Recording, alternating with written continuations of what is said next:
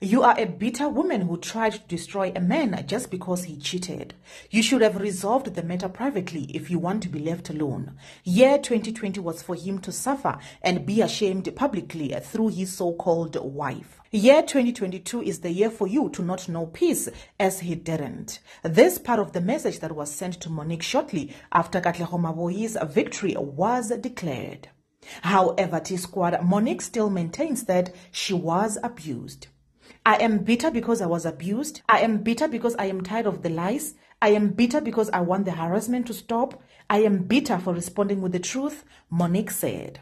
She also went on a rant to set the record straight. As per agreement between the parties, there has been no new acts of domestic violence since the application of the IPO. This is the correct outcome as per the court ruling. They are always trying to control the narrative, except now they forget I'm no longer gagged from speaking up. I no longer care. I would love to be left alone, but I will but I will never let those false narratives to continue. I implore journalists to get the actual judgment from court, she said.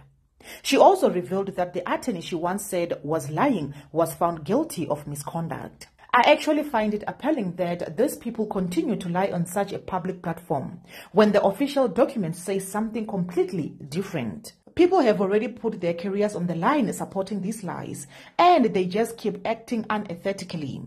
No worries, I won't be making any statements. I will only be posting the facts. Monique said, claiming that the court documents say something completely different from what Katlego brought forward or what his fans are riding with. T Squad is she being bitter or her proofs can really destroy Katlego by the alleged real truth? Do leave your comments down below. I love you.